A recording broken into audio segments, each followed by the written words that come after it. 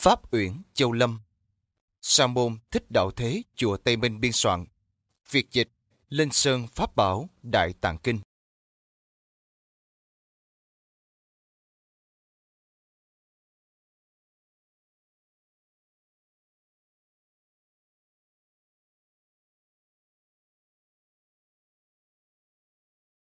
Quyển 94 Nhân duyên cảm ứng. Thiên tưởng dục. Sơ lược dẫn ra các truyện một, Lạc Tử Uyên thời Hán 2. Sa môn Pháp Ngộ thời Tấn 3. Diễu Thiệu Chi thời Tấn 4. Tưởng Tiểu Đức thời Tống 5. Sa môn Trúc Tuệ Xí thời Tống 6. Gia Cát Khác thời Ngô 7. Chu Vũ Đế 8. Triệu Văn Nhã thời Tùy 9. Tôn Hội Phát thời Đường 10. Lý Thị thời Đường 11. Trịnh Sư Biện thời Đường 12. Vi Tri Thập thời Đường 13. Tạ Thích Thị thời Đường 14. Nhậm Ngũ Nương thời Đường Câu chuyện thứ nhất Vào thời Hán Hiếu Sương, Có Lạc Tử Uyên là một dũng sĩ, Tự nói là người dùng Lạc Dương Trong thời Hiếu Sương đóng giữ tại Bành Thành, Người cùng quân trại với Tử Uyên là phàm Nguyên Bảo, Được nghỉ phép trở về Kinh Sư. Tự Uyên trao cho một phong thư, khiến đến đưa giúp và dặn. Nhà đó ở phía nam của linh đài, gần lạc thủy. Khanh chỉ đến chỗ ấy, người nhà tự tra sẽ gặp nhau. Nguyên bảo như lời nói, đến phía nam của linh đài, thấy không có người nhà. Băn khoăn muốn đi, bỗng nhiên thấy một ông lão hỏi rằng, từ đâu mà đến đây? Sao bồi hồi ở nơi này? Nguyên bảo đến gần, nói rõ đầu đuôi sự việc. Ông lão nói, chính là con trai ta. Nhận lấy thư rồi dẫn nguyên bảo đi vào. Mới thấy nhà cửa cao rộng lầu đài tráng lệ vô cùng. Liền cùng nhau ngồi sang người hầu lấy rượu. Chốc lát, người hầu ôm một đứa bé đã chết đi qua. Nguyên bảo nhìn thấy rất quái lạ. Lát sau rượu mang đến, màu rượu đỏ tươi, thơm ngon khác thường. Cùng bày biện thức ăn, có đủ sơn hào hải vị ăn uống xong rồi xin cáo từ ông lão tiễn nguyên bảo đi ra và nói rằng khó mong được gặp lại lần sau. Vì vậy mà hối tiếc buồn bã, chia tay rất thiết tha ân cần. Ông lão quay trở vào, Nguyên Bảo không còn thấy cửa ngõ ấy, chỉ thấy sườn núi cao đứng trước dòng sông, sông nước dập dờn. Lát sau, chỉ thấy một đứa trẻ, mới bị chết đuối, máu trong mũi đang chảy ra. Mới biết rượu đã uống trước đây chính là máu. Đến khi trở về Bành Thành, thì Tử Uyên đã mất rồi. Nguyên Bảo và Tử Uyên cùng đóng quân trấn giữ 3 năm, nhưng không biết chính là thần của dùng lạc thủy. Chuyện này trích trong Lạc Dương Tự Ký Lục. Câu chuyện thứ hai, thời nhà Tấn có sa môn thích pháp ngộ ở chùa Trường Sa, dùng Kinh Châu. Không biết là người nơi nào. Tuổi trẻ ham học hỏi, dốc chỉ theo kinh điển. Thờ Đạo An làm thầy, hiểu biết khác thường. Thế là trời chỗ ở đi về phía đông, xuống ở lại trong chùa Trường Sa, dùng gian lăng mà thuyết giảng kinh Pháp. Người theo học có hơn 400 người. Lúc ấy có một vị tăng uống rượu bỏ quên thắp hương buổi tối. Pháp ngộ chỉ ngăn lại trách phạt mà không đuổi đi. Đạo An từ xa nghe thấy lấy ống tre chứa một chiếc roi bằng cây kinh tự tay mình niêm phong giết vào để cỡ cho Pháp ngộ.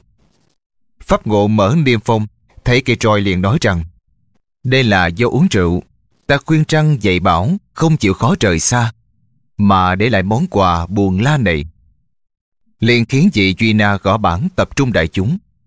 Lấy ống tre, đựng chiếc roi đặt trên ghế.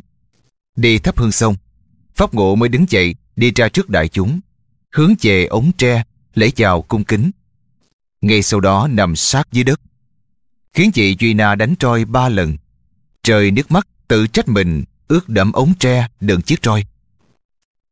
Lúc ấy đạo tục dùng không có ai không thở than. Từ đó người theo học động viên nhau, học theo rất đông. Sau đó viết thư cho tuệ viễn rằng Tôi là người tối tâm kém cỏi, không có năng lực dẫn dắt mọi người. Hòa thượng tuy cách trở ở khu vực khác, hãy còn từ xa chủ lòng nghĩ đến buồn so. Tội lỗi của tôi thật là sâu dày. Về sau qua đời tại Giang Lăng, hưởng thọ 60 tuổi, Chuyện trên đây trích từ Lương Cao Tăng Truyện. Câu chuyện thứ ba Thời nhà Tấn, có Vũ Thiệu Chi ở vùng Tân Giả. Thổ bé tên là Đạo Phúc. Thời nhà Tấn làm quan thái thú dùng Tương Đông, cùng với em trai trong họ là Tống Hiệp ở Nam Dương, có tình cảm dấn dương thật tốt đẹp.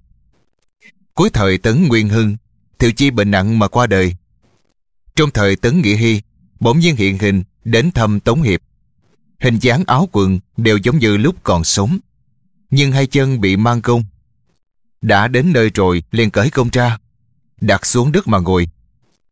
Tống Hiệp hỏi vì sao mà quay lại được, mới đáp. Tạm thời được nghỉ mà quay về, cùng với em thân thiết tốt đẹp, nên tự mình đi qua đây. Tống Hiệp hỏi về chuyện của quỷ thần. Thiệu Chi thì sơ lược nói, chứ không nói gì chính xác. Chỉ nói rằng, nên chịu khó tinh tiến, không được giết hại mạng sống. Nếu không có thể đoạn tuyệt tất cả, thì cũng đừng giết thịt trâu bò. Lúc ăn thịt, không nên ăn tim của loài vật.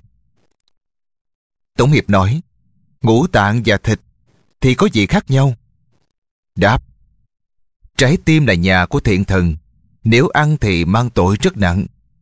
Hỏi thăm tất cả thân thích, nhân đó nói đến chuyện đời, cuối cùng lại muốn uống rượu. Tống Hiệp luôn luôn có rượu ngâm vị thuốc của cây thù chu và bánh ngọt, vì thế liền bày ra. Rượu bày ra chế vào ly mà không uống, mới nói rằng có mùi của cây thù chu. Tống Hiệp nói là rượu dở chân Mới đáp các quan dưới đó đều sợ mùi này, chứ không riêng chị anh. Thiệu Chi là người có tiếng nói cao và mạnh, lúc trò chuyện này không khác gì ngày thường. Một lúc sau, con của Tống Hiệp từ xa đi đến. Thiệu Chi nghe tiếng dép, thì sắc mặt có vẻ rất sợ hãi. Nói với Tống Hiệp rằng, sinh khí bị lấn át, không thể ở lại được. Cùng với em cách biệt ba năm mà thôi. Thế là luồn công vào mà đứng dậy. Đi ra cửa liền mất dạng. Về sau Tống Hiệp làm quan chánh viên lang, quả nhiên ba năm mà qua đời. Câu chuyện thứ tư Thời nhà Tống có trưởng Tiểu Đức, là người dùng gian lăng, làm thứ sử Nhạc Châu. Lúc ấy Chu Tuân làm thính sự, giám sư. Thấy trẻ mà có lòng tính nghĩa hướng đạo, chăm chỉ hơn người. Chu Tuân rất thích, cứ mỗi lần có pháp sự thì khiến trông coi biết rõ sự việc ấy. Cuối niên hiệu Tống Đại Minh mắc bệnh mà chết. Vào canh ba, trong đêm đã sắp tẩm liệm, thì sống lại mà nói. Có sứ giả gọi tên, bảo là nhà vua truyền lệnh triệu tập. Tiểu Đức liền đi theo.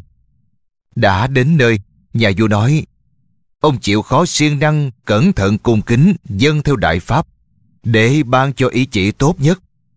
Để ông chuyên chú đến cùng, nên mau chóng sanh vào nơi tốt lành, mà số mạng của ông còn dài, nên khiến ta đặc biệt tự mình gọi đến. Hôm nay, ông sắp nhận được sự vui vẻ sung sướng trong cõi trời. Tiểu Đức vui mừng dân dạ.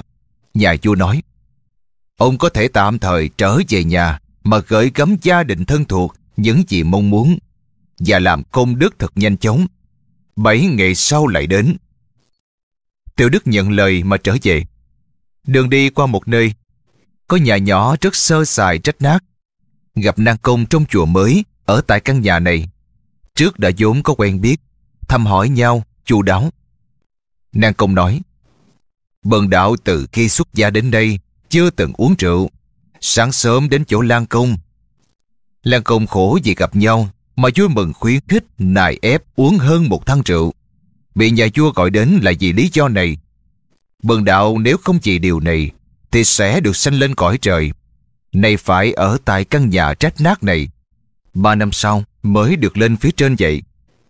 Tiểu Đức về đến nhà, muốn nghiệm đúng lời ấy. Ngay trong đêm, dội vàng sai người tìm hiểu hỏi han rõ ràng. Quả nhiên nàng công vào ngày ấy, ở chỗ Lan Công nằm ngủ. Đến tối mà chết. Tiểu Đức đã khỏi bệnh. Trong bảy ngày thiết lệ cúng dường làm phước rất nhiều. Đến thời hạn bỗng nhiên mà qua đời. Chu Tuân liền miễn tất cả thuế má cho hai gia đình, hai vị tăng là Nam Công và Lan Công, cùng ở trong chùa mới. Đạo hạnh của A Nan Công rất tốt đẹp, không giống như những vị tăng khác. Câu chuyện thứ năm Thời nhà Tống có sa môn Trúc Tuệ Xí, người dùng tân giả, trú tại chùa Tứ Tần dùng Giang Lăng, mất vào năm thứ hai thời Tống Vĩnh Sơ. Đệ tử thay thầy thiết hội bảy ngày. Ngày ấy, sắp tối thắp hương xong, Sa môn đạo hiền tiện thể đến nhìn tuệ xí. Đệ tử đến trước phòng, bỗng nhiên mơ màng, dường như có người. Nhìn rõ chính là tuệ xí. Dung mạo áo quần, không khác gì lúc còn sống. Nói với đạo hiền rằng, bữa sáng ông ăn thịt ngon không? Đạo hiền nói, ngon. Tuệ sĩ nói, tôi gì ăn thịt, này sanh trong địa ngục chó đói. Đạo hiền sợ hãi chưa kịp trả lời được. Tuệ sĩ lại nói tiếp, nếu ông không tin, thì thử nhìn xem sau lưng tôi. Thế là quay lưng lại chỉ rõ cho đạo hiền thấy, có ba con chó vàng, nửa hình giống như con lừa, mắt rất đỏ phát ra ánh sáng, soi chiếu trong cửa. Hình tướng muốn cắn tuệ xí mà lại đứng yên. Đạo hiền kinh sợ bất tỉnh dân sự, rất lâu mới tỉnh lại, nói đầy đủ sự việc ấy. Hai chuyện trên đây trích trong Minh Tường Ký. Câu chuyện thứ sáu Ngô ẩu đế lên ngôi và các khác phụ giúp công việc triều chính. Tùng Tuấn làm thị trung đại tướng quân. Các khác mạnh mẽ lại khinh người ngạo vật. Tôn Tuấn thì hiểm độc, dò xét mà thích phá hoại. Năm thứ ba thời Ngô Phụng Hoàng, các khác đánh Tân Thành, không có công mà trở về. Tôn Tuấn mong dùng ảnh hưởng của ấu đế mà giết các khác. Hôm ấy tinh thần các khác bị rối loạn, suốt đêm không ngủ. Trương ước, đằng duệ đem mưu kế của Tôn Tuấn nói cho các khác biết. Các khác nói rằng Thằng dại ấy sao có thể làm được? Chẳng qua giờ vào cơm rượu mà làm rượu độc để hại người thôi. Thế là dẫn người thân tín lấy rượu thuốc tự mình mang theo. Các khác sắp đi vào thì con chó chạy theo ngậm lấy vạt áo của các khác. Không đi được ba bước. Các khác quay lại nhìn vỗ đầu con chó và nói rằng Sợ gì, không có khổ nạn đâu. Đã đi vào bên trong thì bị Tôn Tuấn phục binh giết chết. Sau Tôn Tuấn mắc bệnh mộng thấy, bị các khác đánh mà điên cuồng, nói là thường không thấy các khác. Không bao lâu thì chết. Chuyện này trích trong quan hùng chí. Câu chuyện thứ bảy Chu Vũ Đế thích ăn trứng gà, mỗi lần ăn mấy quả. Có quan giám thiện tên Nghi Đồng, gọi là bà khổ. Thường ngày dân thức ăn lên nhà vua, có được sự sủng ái. Tuệ chân đế lên ngôi, vẫn còn tiếp tục làm giám thiên dân thức ăn. Giữa thời tùy khai hoàng, đột ngột mà chết. Nhưng dụng tim hãy còn ấm. Người nhà không đành lòng tẩm liệm, ba ngày mới sống lại. Có thể nói năng được, thì trước hết nói rằng đưa tôi đến gặp đấng chí tôn để thuật lại lời vũ đế. Đã ở ngay trước mắt mà thỉnh cầu. Dân đế gọi ra để hỏi. Nói rằng bắt đầu bỗng nhiên thấy người đến gọi, đi theo đến một nơi, có hàng rất rộng, mà đường đi thẳng vào, mới đến cửa hàng. Từ xa thấy phía tây có trăm kỵ binh xuất hiện, nghi thức hộ vệ giống như vua chúa. Chốc lát đến cửa hang, thì chính là chu vũ đế. Nghi đồng phái lạy, vũ đế nói, nhà chúa gọi ông chứng minh việc của ta mà thôi, thân ông không có tội. Nói xong liền đi vào trong cung. Sứ giả cũng dẫn nghi đồng khiến trông thấy cửa cung. Dẫn đi vào trước sân, thấy vũ đế và nhà vua cùng ngồi, mà có thêm chung mạo cung kính. Sứ giả khiến nghi đồng phái lại nhà vua. Nhà vua hỏi, ông làm thức ăn cho vũ đế, trước sau dâng lên bao nhiêu quả bạch đoàn. Nghi đồng không biết bạch đoàn là quả gì, bèn quay lại nhìn hai bên. Quân lính hai bên giải thích rằng, tên gọi của trứng gà là bạch đoàn ấy mà. Nghi đồng liền trả lời, Vũ đế ăn bạch đoàn thực sự không nhớ số lượng. Nhà vua nói với vũ đế, Người này không nhớ, trước mắt cần phải ra ngoài. Vũ đế đau thương sầu thảm mà đứng dậy không vui. Bỗng nhiên trông thấy trước sân có chiếc giường bằng sắt cùng mấy chục ngục tốt, đều là đầu trâu thân người. Vũ đế đã nằm trên giường, ngục tốt dùng sàn ngang bằng sắt đè xuống. Hai bên sườn vũ đế có một chỗ toạt ra, toàn bộ gà con chui ra, chốc lát ngang cùng với chiếc giường, khoảng hơn 10 hộp. Thế là theo lệnh nhà vua, đếm tất cả từ đầu đến cuối, thì giường và ngục tốt bỗng nhiên không thấy nữa. Vũ đế đã lại ngồi bên cạnh chỗ nhà vua. Vũ đế nói với nghi đồng rằng, bởi vì ta nghe thiên tử đại tùy, xưa cùng ăn với ta. Kho tàng ngọc ngà, lúa là quý báu, cũng do ta để dành. Này thân ta vì quý diệt Phật Pháp, nên cuối cùng vẫn chịu khổ báo to lớn, có thể làm công đức giúp cho ta. Ngay sau đó dân đế truyền lệnh cho người khắp đất nước. Mỗi người trích ra một quan tiền để làm phước truy tiến giúp người đã khuất. Tùy ngoại tổ là tề công, đích thân đến gặp để hỏi rõ thời gian, trở về nhà nói lại đầy đủ sự việc. Câu chuyện thứ 8 Sau trong thời tùy đại nghiệp, ở huyện Trường An, Ung Châu, có người họ triệu tên là Văn Giả, chết đã 7 ngày. Người nhà chuẩn bị mọi thứ sắp đưa vào quan tài. Bỗng nhiên có một chân lại. Người nhà sợ hãi không dám đưa vào quan tài. Văn Nhã được sống lại. Quyến thuộc vui mừng hỏi nguyên cớ thế nào. Văn Nhã nói cho biết rằng lúc ấy chết thấy có người dẫn đi đến chỗ Diêm La Vương. Diêm La Vương hỏi Văn Nhã lúc ông còn sống làm phước nghiệp gì. Văn Nhã thưa giới nhà vua họ trì kinh kim cang bát nhã. Nhà vua khen rằng tốt lành thay, phước này là bậc nhất. Tuy ông có phước thiện, nhưng lại dẫn ông đi chỉ rõ nơi nhận chịu tội lỗi của ông. Sai một người dẫn văn giả đi về phía bắc 10 bước, đến một bức tường có lỗ hổng, khiến văn giả đi vào trong lỗ hổng. Sát bức tường có người, thò tay từ trong lỗ hổng, nắm lấy đầu văn giả kéo ra. Thật vô cùng vất vả. Được vượt ra bên ngoài bức tường, thấy địa ngục rộng lớn, vạt sôi, lò nóng, hình cụ tra tấn đau khổ, tội nhân chịu hình phạt đau khổ, không thể nào kể ra hết được. Ngay lúc ấy có rất nhiều loài heo, dê, gà, cá, ngỗng, vịt tranh nhau xuất hiện đi theo. Vân Nhã đòi trả mạng sống. Vân Nhã nói, tôi không ăn thịt thân các người, tại sao lại bị thúc ép? Các loài súc sanh đều nói cho biết rằng, ông ở trước kia vào nơi ấy, tháng ấy, mùa ấy, năm ấy, ăn đầu chân, thân cánh của tôi, cắt lìa từng đoạn từng đoạn. Mọi người cùng ăn nuốt, tại sao lại giấu tội? Phần nhà thấy súc vật dẫn ra sự thật, không dám chống cự. Chỉ biết nhất tâm niệm Phật, hết sức hối hận về những tội lỗi, không nói ra được lời nào. Lúc ấy cậu mong loài súc vật cho được sống để tu đầy đủ phước thiện, đền trả, tạ tội các loài súc vật. Các loài súc vật thấy được tu phước giúp thì lập tức thả ra. Sứ giả dẫn người đi qua nơi ấy, đem phân nhã đến chỗ nhà vua. Nói trông thấy nơi nhận chịu tội lỗi rồi. Nhà vua đưa cho một cái bát đựng đầy đinh nhọn khiến văn giả ăn hết và dùng năm chiếc đinh cắm vào đồ văn giả. Cổ với tay chân cũng bị đóng đinh. Sau đó tha cho qua. Văn giả được sống lại, nói đầy đủ sự việc này. Nhưng mắc bệnh đầu và tay chân vô cùng đau đớn. Mãi về sau tu phước thì sự đau đớn dần dần được chữa lành. Từ đó về sau, chịu khó siêng năng trì tụng kinh Kim Cang Bát Nhã, không dám bỏ lỡ một chút thời gian. Nhưng gặp đạo tục quen hay lạ, đều khuyến khích thọ trì kinh Kim Cang Bát Nhã.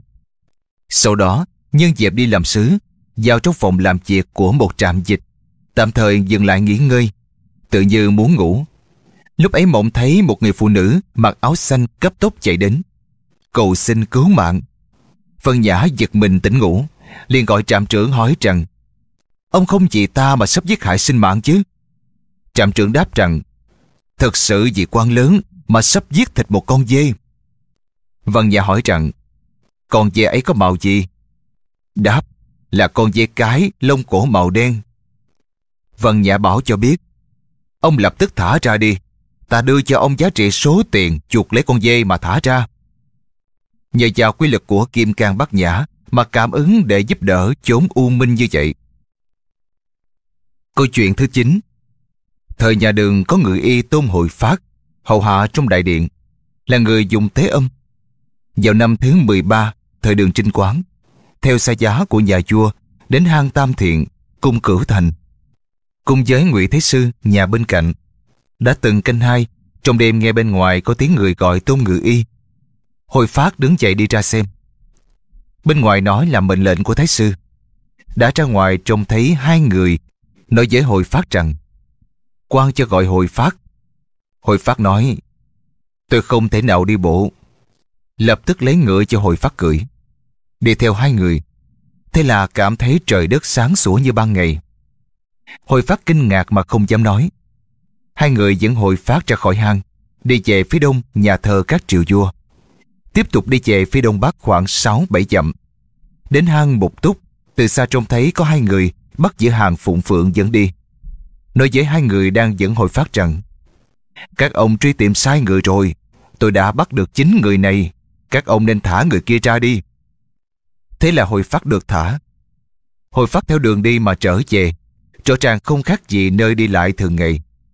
Đã đến nhà buộc ngựa, thấy người hầu gái ngủ trước cửa, gọi mà không trả lời. Bước qua đi vào cửa, trông thấy thân hình người hầu gái cùng với vợ mình đều đang ngủ.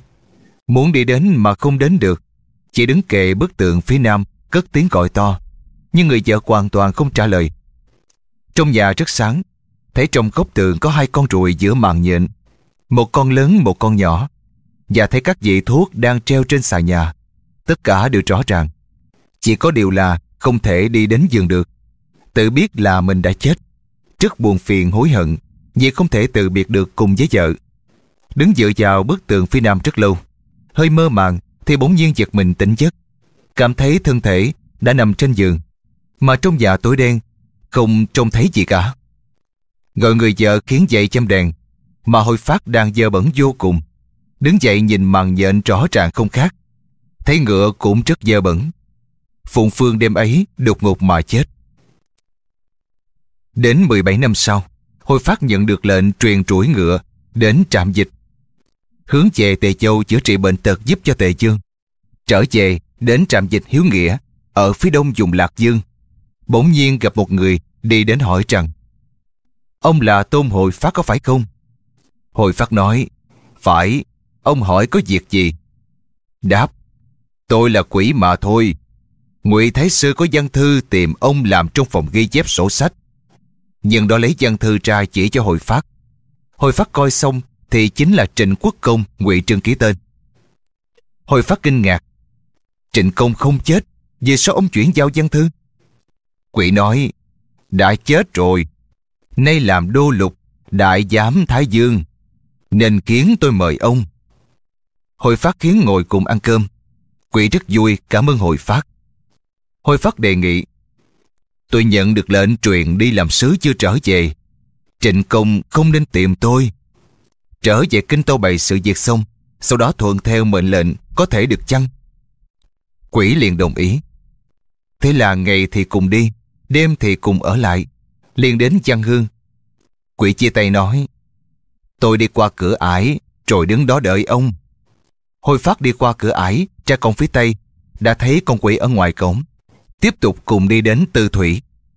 Quỷ lại cùng với hội phát chia tay nói, đợi ông tâu bày sự việc xong, thì gặp nhau. Ông có thể đừng ăn các loại tanh nồng. Hội phát đồng ý. Đã tô bày sự việc xong rồi, hỏi thăm biết Trịnh Công đã chết. Đối chiếu ngày Trịnh Công chết là ngày kia ở trạm dịch Hiếu Nghĩa. Hồi phát tự cho rằng mình nhất định phải chết, cùng với người nhà từ biệt mà mời tăng hành đạo, tạo tượng chép kinh làm công đức. Khoảng chừng 6-7 ngày, trong đêm mộng thấy quỷ trước đây đến mời, dẫn hội phát lên núi cao. Trên đỉnh núi có cung điện rộng rãi. Đã đi vào bên trong gặp mọi người, nhà vua chào đón nói rằng Người này tu phước không thể nào giữ lại được, có thể thả đi. Lập tức đại hội phát rơi xuống núi, thế lại giật mình tỉnh giấc. Từ đó về sau không xảy ra điều gì. Hồi phát tự mình đến kể lại sự việc như vậy. Câu chuyện thứ 10 Thời nhà đường ở huyện Đột Khâu, Ký Châu, có bà lão họ Lý, tuổi khoảng 70, không có con cái, chỉ một mình già yếu, nhưng có hai người nô tỳ. Nhà làm nghề bán rượu, thêm chút ít bột để kiếm chút chi phí cho việc chép kinh. Giữa thời đường trinh quán vì bệnh mà tắt hơi. Chết đã hai ngày, dụng cụ tẩm liệm đã có đủ, nhưng bởi vì trên ngực còn chút hơi ấm, sau đó mới sống lại, miệng nói. Ban đầu có hai người đều mặc áo đỏ, ở trước cửa gọi ra. Phía trên có dấu hiệu phái đi truy tìm. Thế là đi theo họ. Đi đến một khu thành, có vẻ giống như tường thành, bên ngoài của châu quận.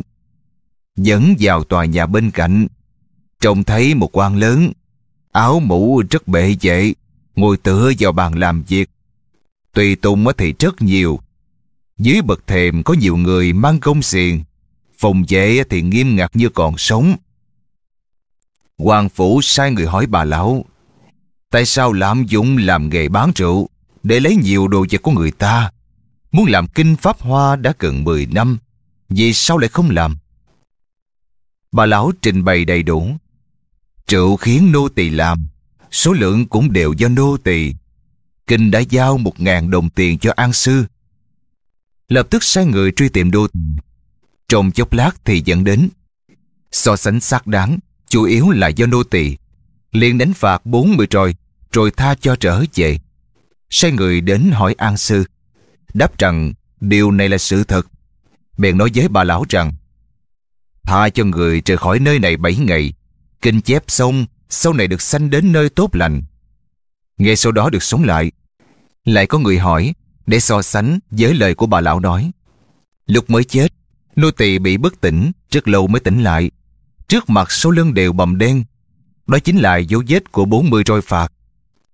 Ẩn thiền sư ấy vốn là khách tăng, đến ở chùa dùng đột khâu, tuổi gần 60-70. Từ lúc xuất gia thì hành hạnh đầu đà khất thực, thường ngày chỉ ăn một bữa, chưa hề tạm thời dừng bỏ. Đại đức xa gần thấy đều tôn kính ngưỡng mộ. Đến bà lão bị bệnh chết, ẩn sư mộng thấy có người mặc áo đỏ đến hỏi. Trong giấc mộng đáp rằng chép kinh là thật. Bà lão bèn thuyết phục làng xóm quyến thuộc và ấn thiện sư hành đạo.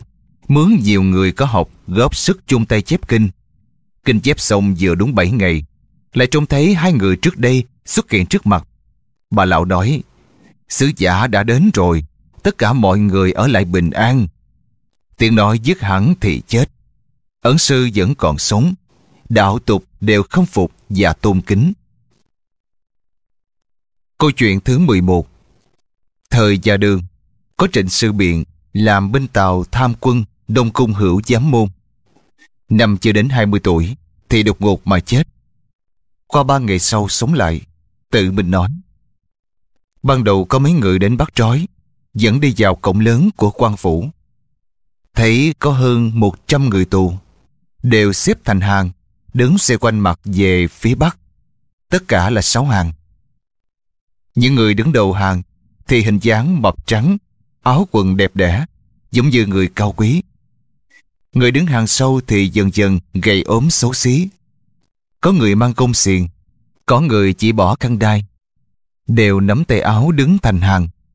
Binh lính canh giữ chặt chẽ. Sự biện đến đưa vào đứng thứ ba, phía đông hàng thứ ba. Cũng bỏ khăn đai, nắm tay áo nối nhau. Sư biện lo sợ dốc lòng niệm Phật.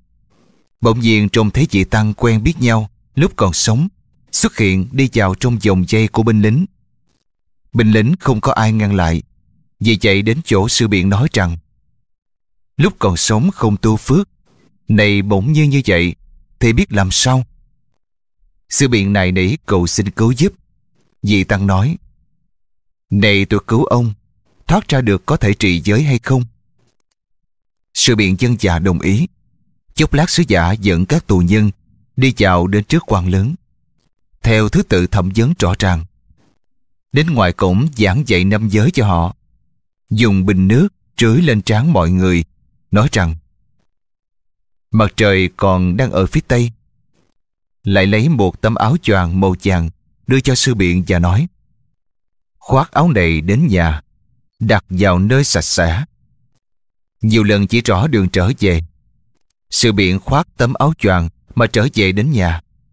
Cởi tấm áo choàng đặt trên gốc giường. Lát sau mở mắt cử động thân mình. Người nhà kinh hãi tản ra, nói là thấy xác đứng dậy. Chỉ riêng người mẹ không trời xa mới hỏi rằng Con còn sống chăng? Sư biện nói Mặt trời đang còn ở phía tây. Ý sư biện lúc ấy ngỡ là ban trưa, cho nên hỏi mẹ. Mẹ nói Bây giờ đang nửa đêm con à. Mới biết sống chết trái ngược nhau. Ngày đêm hoàn toàn sai khác. Đã đến lúc mặt trời ngã về Tây thì có thể ăn uống mà hồi phục. Hãy còn thấy tấm áo choàng ở đầu giường. Đến lúc sư biện có thể đứng dậy thì hình dạng tấm áo choàng dần dần phai mờ, mà vẫn còn có ánh sáng, qua bảy ngày mới hết. sự biện dân lời giữ gìn năm giới. Sau nhiều năm trôi qua, có người bạn khuyến khích nài ép ăn thịt heo. sự biện không thể nào từ chối được, đành phải ăn một miếng. Đêm ấy mộng thấy đã quá làm la sát. Trăng bóng đều dài mấy thước, bắt heo đang sống mà ăn thịt. Trời đã sáng, cảm thấy miệng có mùi tanh, khạc nhổ ra máu. Khiến người nhìn xem đầy miệng là máu đông. Sự biện sợ hãi không dám ăn thịt nữa. Mấy năm sau cưới vợ, nhà vợ nài ép phải ăn.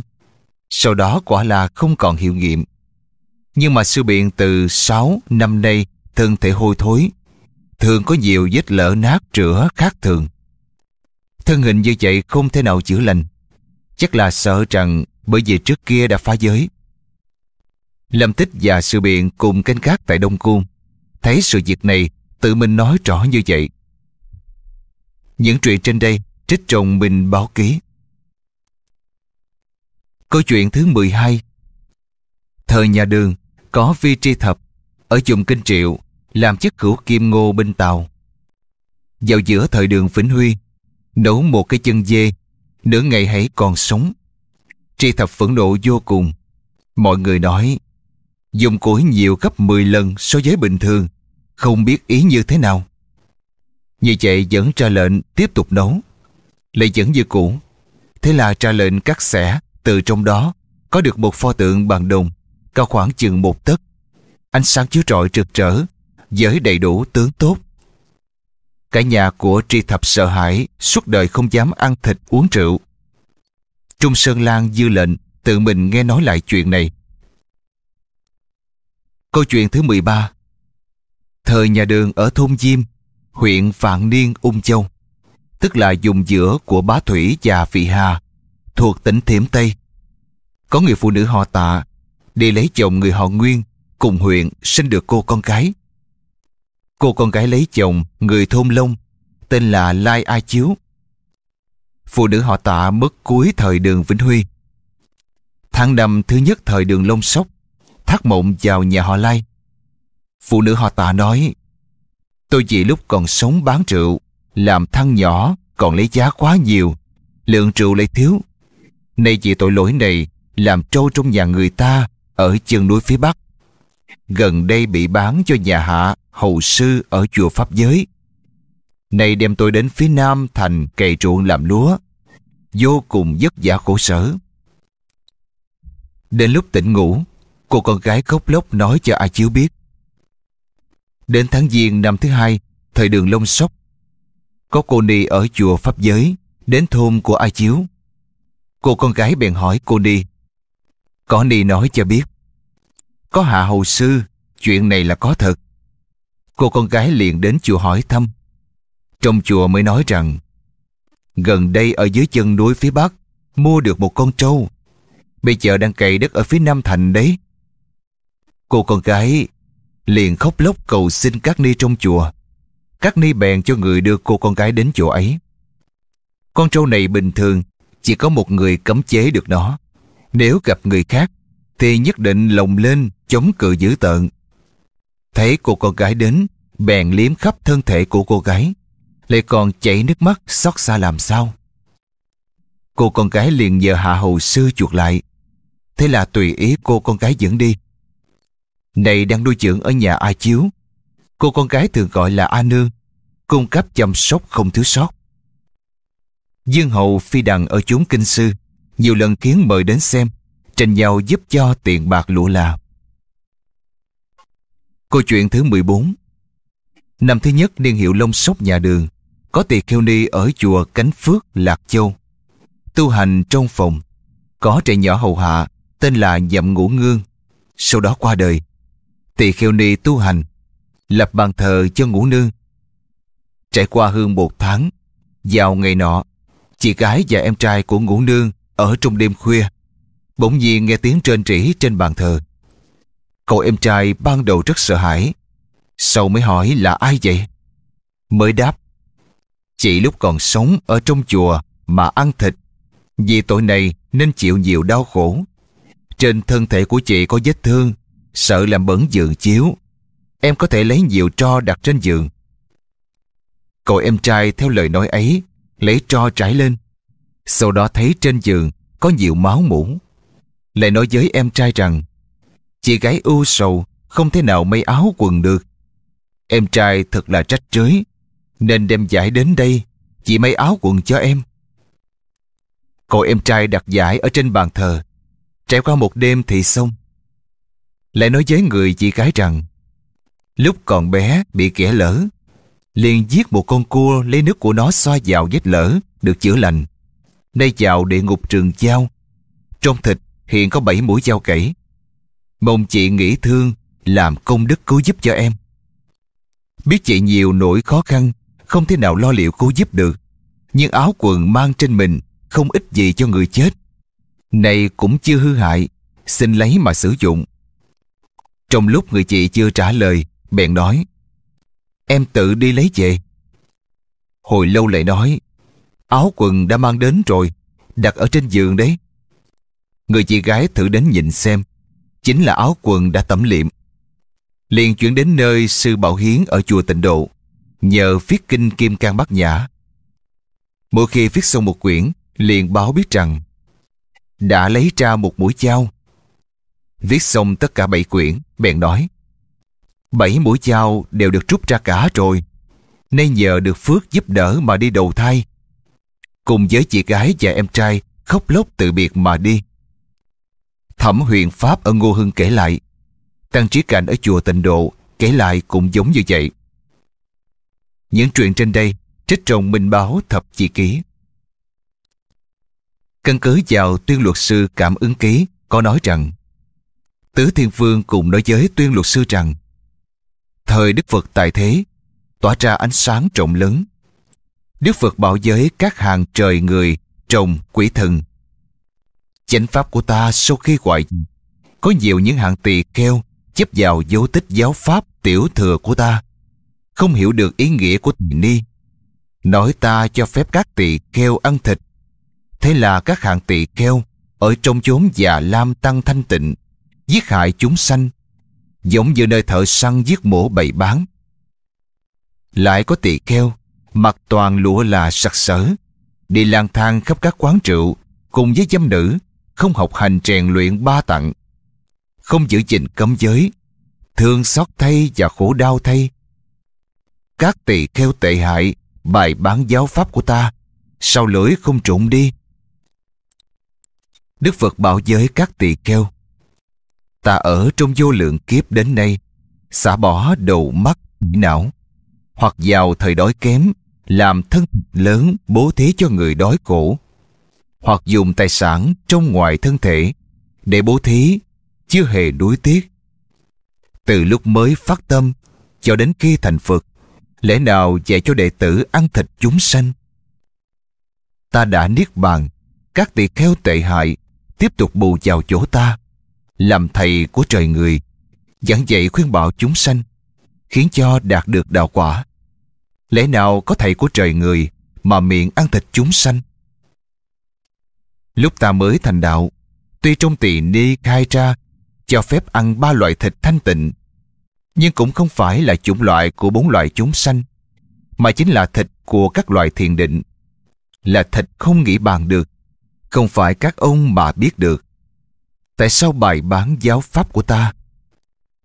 Ta vào niết bàn, ở trong kinh lăng già có nói, tất cả các loại của mọi sinh mạng đều đã đoạn hết. Không cho phép người trì giới ăn thịt là thân mạng của các chúng sanh.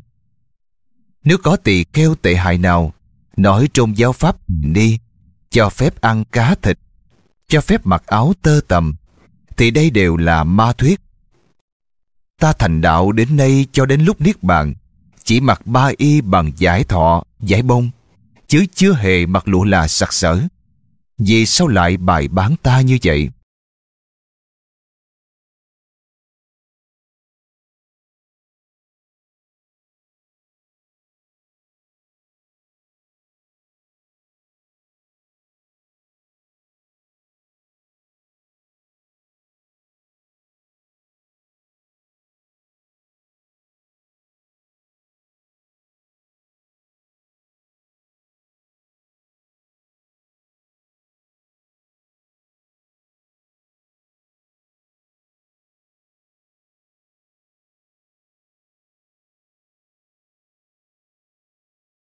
Thiên thứ 94 Uế trượt Thiên này có bốn phần.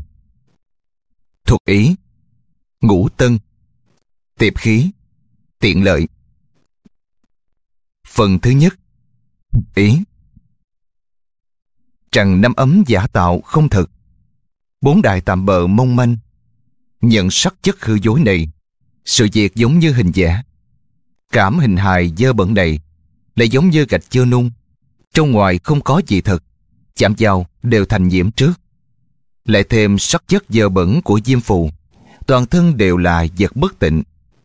Thường ngày ăn thịt và uống rượu. Luôn luôn ăn những loài hôi nồng.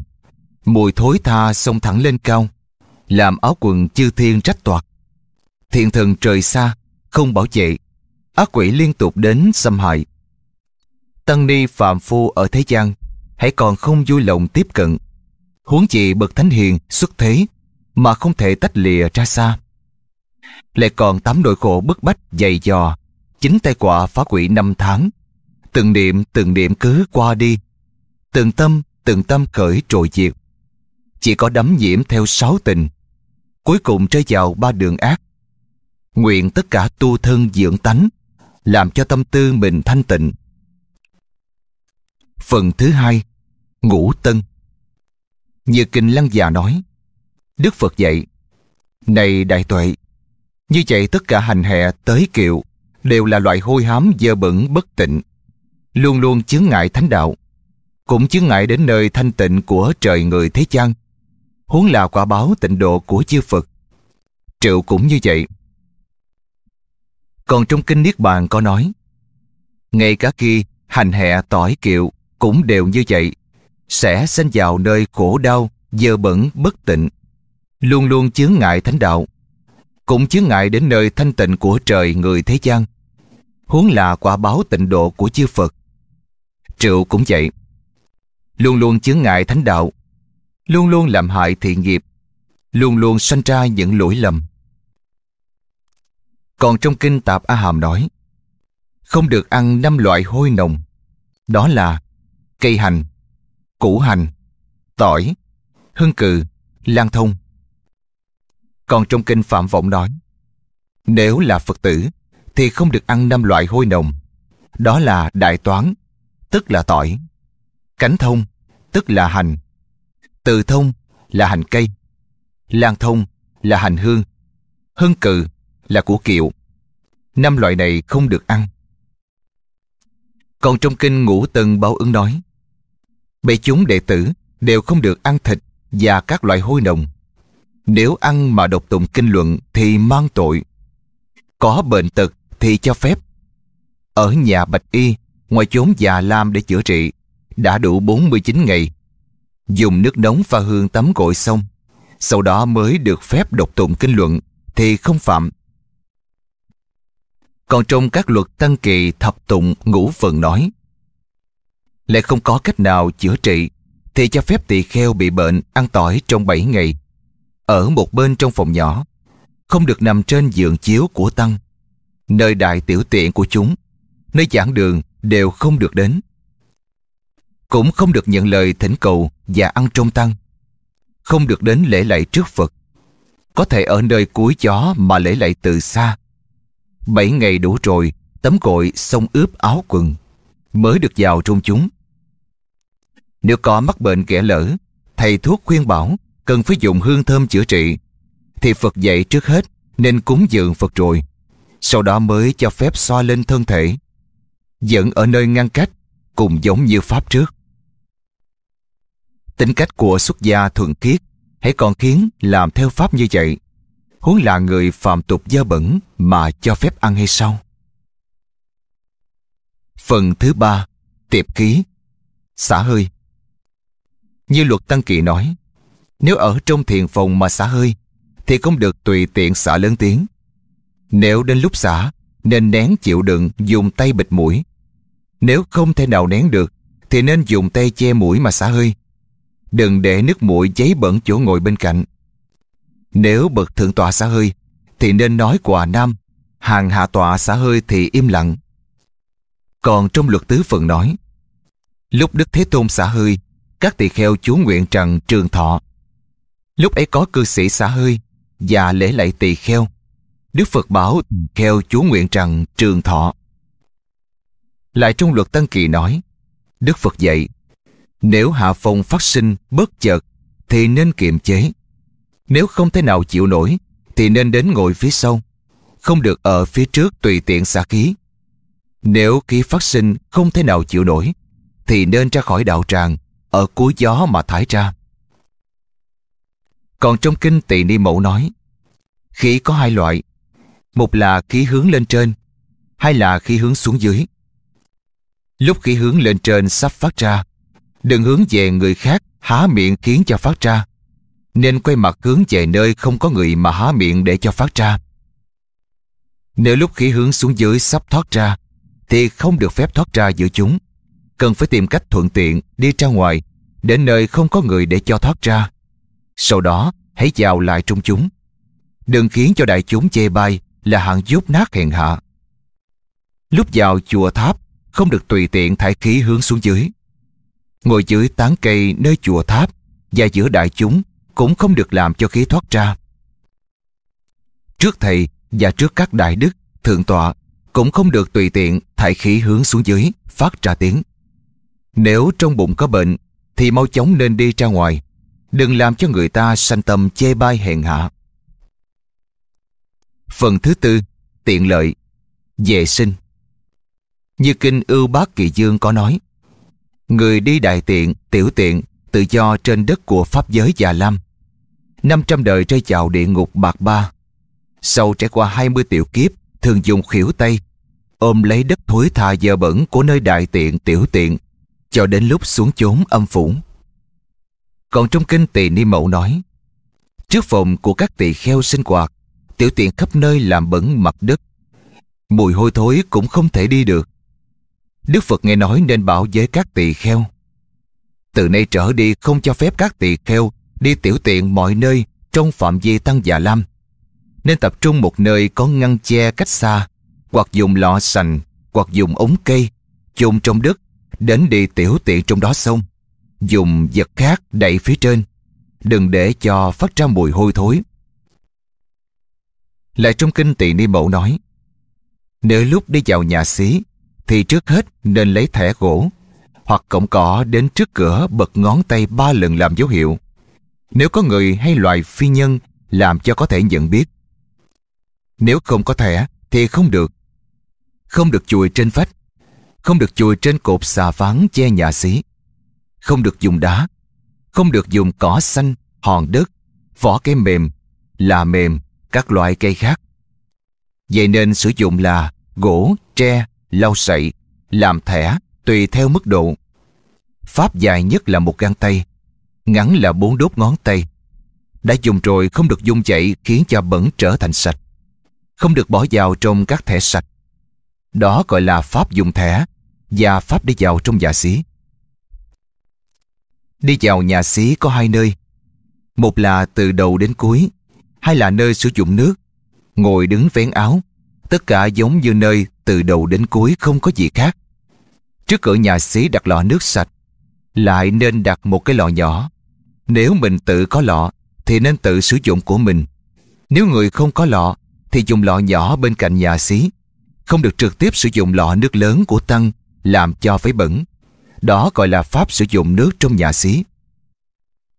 Trước tháp, trước chúng Tăng, trước hòa thượng A Xà Lê, không được há miệng to, nhổ nước bọt trên đất. Nếu muốn nhổ nước bọt thì nên đến chỗ che khuất. Đừng khiến cho người khác chê bai hèn hạ. Đó gọi là pháp khạc nhổ. Còn trong Tam Thiên Oai Nghi có nói rằng nếu đại tiểu tiện xong không rửa sạch thì tỳ kheo phạm tội đột cát la. Cũng không được ngồi trên chỗ ngồi thanh tịnh của Tăng và lễ lạy Tam Bảo. Giả sử có lễ lạy cũng không có phước đức gì. Còn đến nhà sau trước khi vào nhà xí có 25 điều. Một là lúc muốn đại tiểu tiện thì nên đi, không được trên đường đi mà làm lễ với thượng tọa.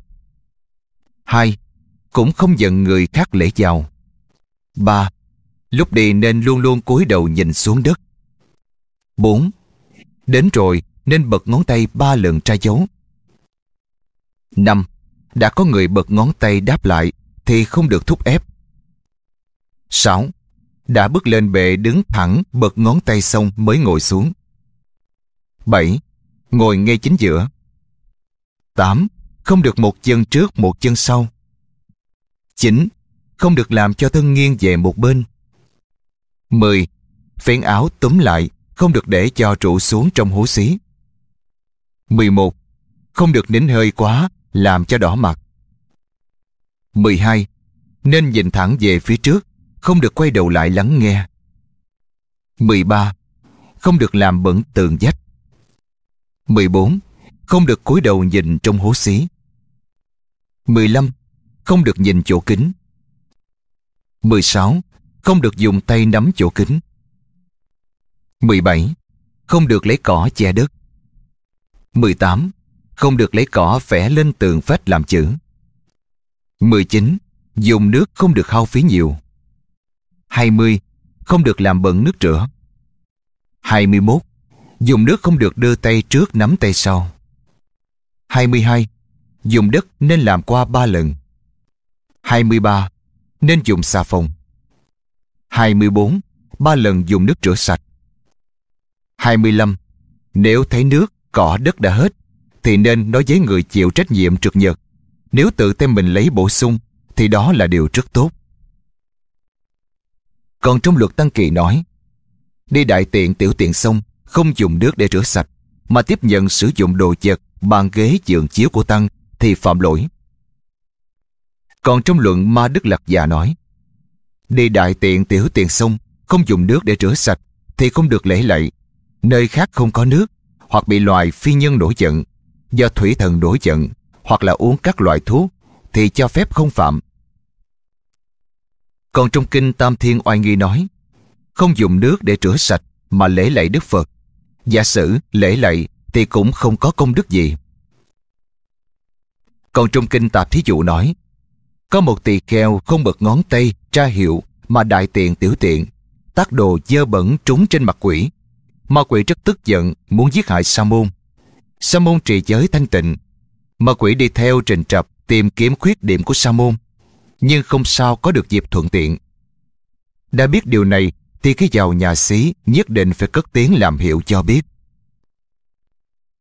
Còn trong kinh Hiền Ngu nói, xưa vào thời Đức Phật tại thế, trong thành xá vệ có một người nghèo túng, tên là Ni Đề, rất nghèo túng hèn hạ, thường đi đổ phân cho người ta.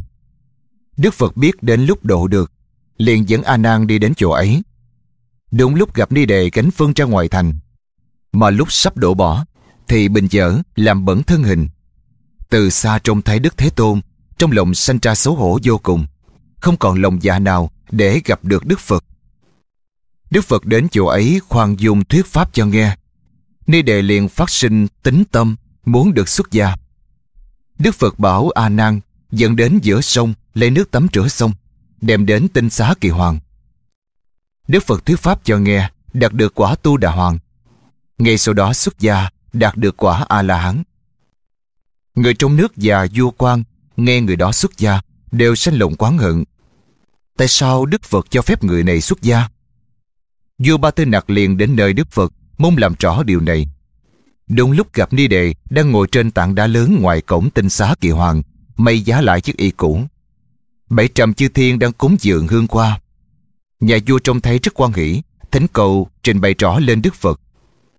Tỳ kheo ni đề ẩn thân hình vào trong tảng đá ra vào thật tự tại. Trình bày rõ ràng đã xong. Nhà vua đến nơi trước tiên thưa hỏi việc này. Tỳ kheo trước đây họ tên như thế nào? Đức phật bảo với nhà vua. Chính là người hèn hạ nhất trong nước của nhà vua. Đó là ni đề đi đổ phân thuê ấy mà nhà vua nghe đức phật giải thích thì tâm bài bán lập tức trừ hết đến chỗ ni đề nắm chân làm lễ, sám hối tạ từ. Nhà vua thưa với Đức Phật rằng, tỳ kheo ni đề xưa kia, cái trang nghiệp gì mà nhận chịu thân phận hèn hạ này? Đức Phật bảo với nhà vua, xưa kia sau khi Phật ca diếp nhập Niết Bàn, có một tỳ kheo, xuất gia tự tại, nắm giữ tăng sự, thân có chút bệnh quạng, lười nhác đứng lên trái vào, nên đại tiện tiểu tiện trong đồ dùng sai một đệ tử mang đi đổ. Nhưng người đệ tử ấy là thánh nhân Tu Đà Hoàng. Vì nhân duyên này, trôi lăn trong sanh tử, luôn làm thân người hèn hạ. Trong 500 đời làm người đi đổ phân thuê. Nhờ công đức xuất gia trì giới xưa kia, nay được gặp Phật mà xuất gia đắc đạo. Bởi vì nghĩa này nên không được đại tiện, tiểu tiện trong phòng, vốn có dẫn đến tội lỗi như trước. Nhiều lúc thấy người phàm tục, lười nhác, không luôn tự mình vận động, đặt đồ vật dơ bẩn mà đại tiện tiểu tiện ở trong phòng, khiến người khác hàng ngày mang đi đổ. Đời chị Lai chắc chắn rơi vào địa ngục. Dù cho được ra khỏi địa ngục, nhưng vẫn còn làm thân heo, chó, bọ, hung, sâu dòi nơi nhà xí. Còn trong kinh Phật thuyết trừ tai quạng có nói rằng, Đức Phật bảo A Nan, Đời quá khứ xưa kia, Vào thời Phật ca diếp, Tuổi thọ con người là hai vạn năm. Phật sự hoàn tất Lại xả thọ mạng nhập Niết Bàn.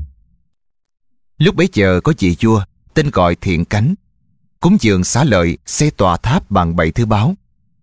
Cao một do tuần, Tất cả chúng sanh thắp đèn đốt hương, Cúng dường hương qua, Lễ lạy thờ kính Lúc ấy có nhiều người nữ muốn cúng dường tòa tháp, liền cùng dẫn nhau đến quét dọn sạch sẽ trong tháp. Lúc ấy có phân chó làm dơ bẩn đất trong tháp. Có một người nữ dùng tay giấm lấy chất đi. Lại có một người thấy người nữ ấy dùng tay giấm lấy phân chó dứt đi, thì nhổ nước bọt cười nói rằng tay cô đã dơ bẩn, không thể đến gần được. Người nữ ấy mắng ngược lại.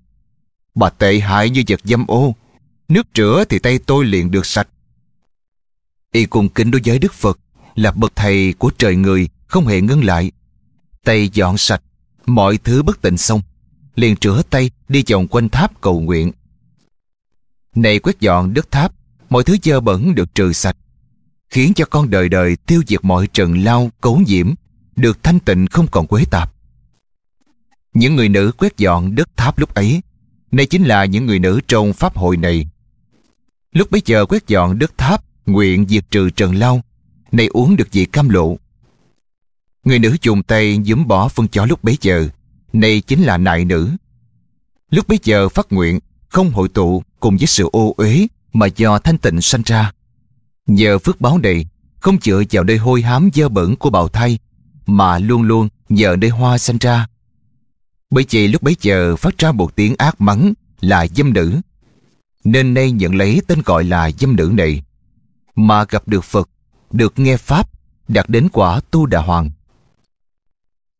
Còn trong kinh Tạp Bảo Tạng nói, Pháp của Nam Thiên Trúc thì nhà có một đồng nữ, nhất định phải khiến cho sáng sớm quét dọn sạch sẽ trong sân và hai bên cửa ngõ.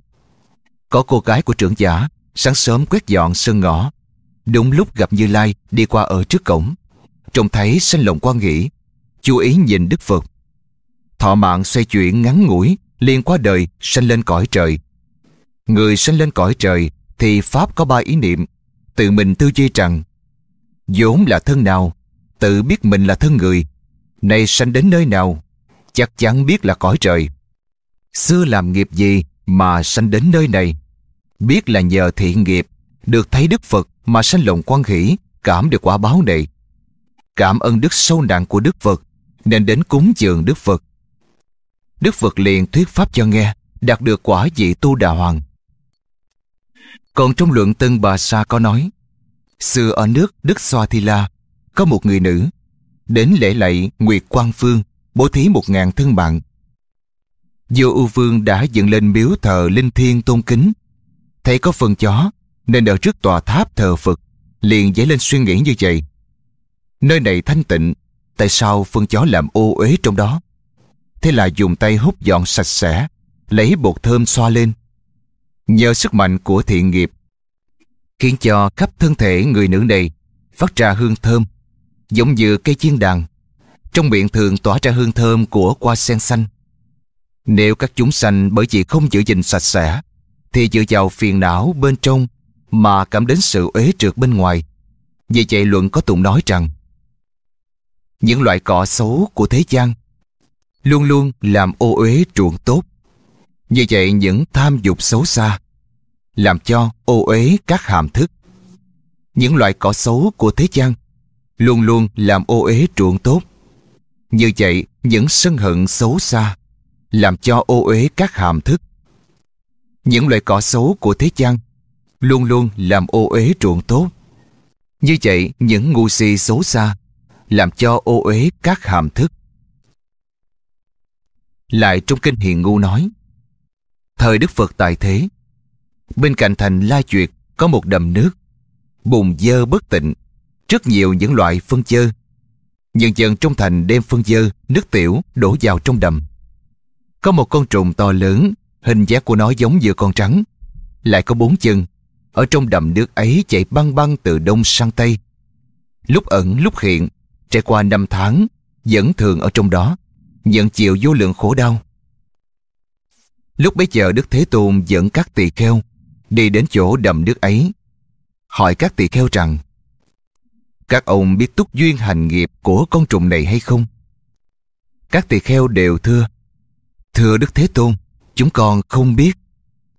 Đức Phật giảng giải Thời Phật Tỳ Bà Thi có nhiều khách buôn đi chào biển lấy vật báo có được nhiều châu báu về đến nơi bình an chọn những loại quý báu nhất, dùng để cúng dường chúng tăng.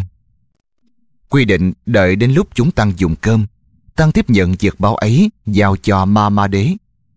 Vào sau khi tăng dùng cơm gần xong, thuận theo xin lấy việc báo ấy mà không đưa cho. Chúng tăng hết sức đòi lại. Ma ma đế giận dữ mà nói với họ rằng, bọn ông ăn phân vật báo này thuộc về tôi về sao lại đòi lấy?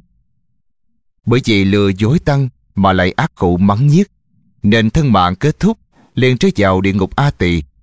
Thân thể thường trằn trọc trong phân sôi. Trải qua 91 kiếp mới từ địa ngục thoát ra, nay rơi vào trong này. Từ thời thất Phật cho đến đây đều làm thân con trùng ấy. Đến ngàn vị Phật ở hiện kiếp, trải qua mỗi thời đều chịu quả báo như vậy. Còn trong kinh Bách Duyên có nói rằng Thời Đức Phật an trú trong tinh xá Trúc Lâm, Ca Lan Đà, thuộc thành Phương Xá. Tôn giả xá lợi Phất, Đại Mục Kiền Liên, lúc thiết bày sắp ăn. Trước tiên quán sát về địa ngục, ngạ quỷ, súc sanh, sau đó mới ăn. Một Kiền Liên thấy một ngạ quỷ, thân giống như cây cột cháy đen, bụng giống như thái sơn, cổ họng giống như kim nhỏ, tóc giống như dao nhọn, quấn quanh đâm vào thân thể. Giữa các khớp xương đều phát ra lửa. Trên trĩ gọi to, chạy lồng lộn khắp nơi. Cầu tìm phân dơ, nước tiểu để mà ăn uống. Đau khổ mệt mỏi suốt ngày mà không thể nào có được. Một kiền liên hỏi ngạ quỷ rằng Ông tạo nghiệp gì mà nhận chịu đau khổ như vậy? Ngạ quỷ đáp Nơi có mặt trời không cần phải nhờ đến đèn đuốc. Như Lai Thế Tôn nay hiện còn giữa thế gian. Thầy có thể tự mình thưa hỏi. Này tôi đói khát, không thể nào trả lời nổi. Lúc bấy giờ một kiền liên đi đến nơi Đức Phật, thưa hỏi Như Lai đầy đủ. Đã tạo nghiệp hạnh gì mà nhận chịu đau khổ như vậy? Đem đầy đủ sự việc trên để thưa hỏi. Lúc bấy giờ Đức Thế Tôn bảo với một kiền liên rằng Này ông cố gắng lắng nghe, ta sẽ nói cho ông. Trong hiện kiếp này, trong thành xá vệ có một trưởng giả, tiền bạc châu báu vô lượng, không thể nào tính kể. Thường sai tôi tớ ép lấy nước, để đem tặng cho các quyền quý cao sang. Có chị Bích Chi Phật mắc bệnh rất khác, thầy thuốc giỏi kê đơn thuốc, khuyên nhủ rằng uống nước mía thì bệnh sẽ mau khỏi. Lúc ấy có chị Bích Chi Phật đi đến nhà trưởng giả xin nước mía. Trưởng giả vào lúc ấy thấy chị này đến rất quan hỷ liền nói với vợ mình là Phú Na Kỳ. Tôi có việc gấp nhất định phải đi ra ngoài. Bà ở sâu á, lấy nước mía cúng dường chị Bích Chi Phật. Lúc ấy bà vợ đáp Ông cứ đi ra ngoài đi, tôi tự mang đến sau cũng được. Lúc người chồng đi ra rồi, bà vợ lấy bát của chị Bích Chi Phật, đến nơi che khuất, tiểu tiện vào trong bát. Lấy nước mía phủ lớp trên bát, đưa cho chị Bích Chi Phật. Vì Bích Chi Phật nhận rồi liền biết không phải là nước mía. Thế là đổ bỏ xuống đất, ôm bắt không mà quay về. Sau, bà vợ trưởng giả mạng chung rơi vào trong loài ngạ quỷ. Thường bị đói khát, làm cho bức bách vô cùng, Vì nghiệp duyên này mà vẫn chịu khổ đau như vậy. Đức Phật bảo với một kiền liên Cần phải biết rằng bà vợ của trưởng giả ấy lúc bấy giờ này chính là ngạ quỷ Phú Na Lúc Đức Phật thuyết dạy nhân duyên này, các tỳ kheo đều xả bỏ chuyên nghiệp tham lam keo chán ghét sanh tử. Có người đạt được bốn quả sa môn, có người phát tâm bích chi Phật, có người phát tâm bồ đề vô thượng. Lúc bấy giờ, các tỳ kheo nghe Đức Phật thuyết giảng, tất thảy đều quan hỷ dân lời thực hành. Tụng rằng, ăn máu thịt thân mạng loại khác, tham độc không có lòng yêu thương, nuôi sắc chất dơ bẩn thân này dời bỏ chui trúc ở bên trong. Không giữ gìn vật sạch của tăng, đau khổ, không biết đến bao giờ.